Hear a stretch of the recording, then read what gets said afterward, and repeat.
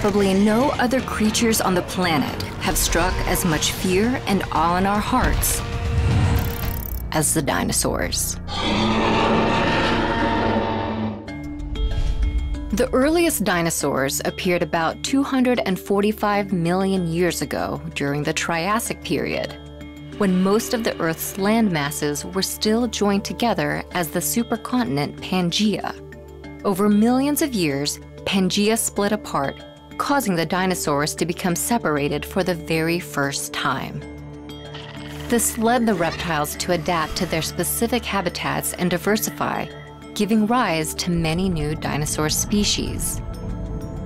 According to some estimates, more than 1,000 species of dinosaurs have roamed the Earth.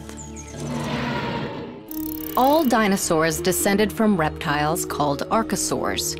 From there, dinosaurs branched out into two major groups, Saurischia and Ornithischia, based on the shape and orientation of their pelvis.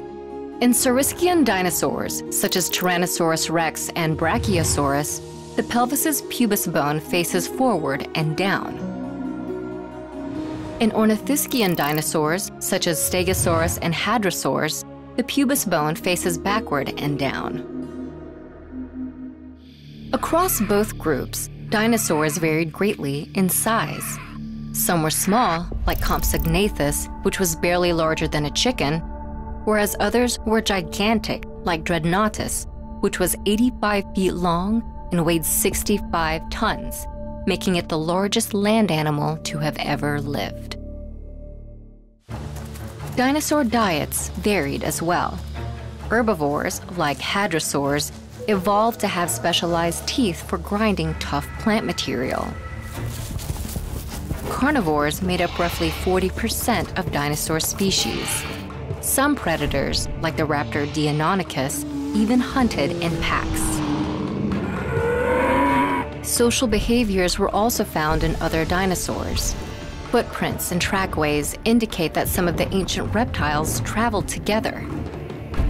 Evidence also shows that herds may have made annual visits to certain sites to lay their eggs.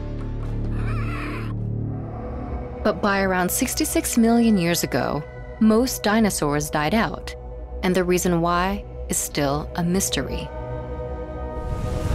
The most well known explanation is an asteroid strike, but a multitude of factors may have contributed to this extinction. In fact, the dinosaur population was already in severe decline by the time the asteroid struck. However, several dinosaur species survived, and some of which evolved to become today's birds. The world has never again seen land creatures as great as the dinosaurs. But through their descendants and fossils left behind, their legacy lives on.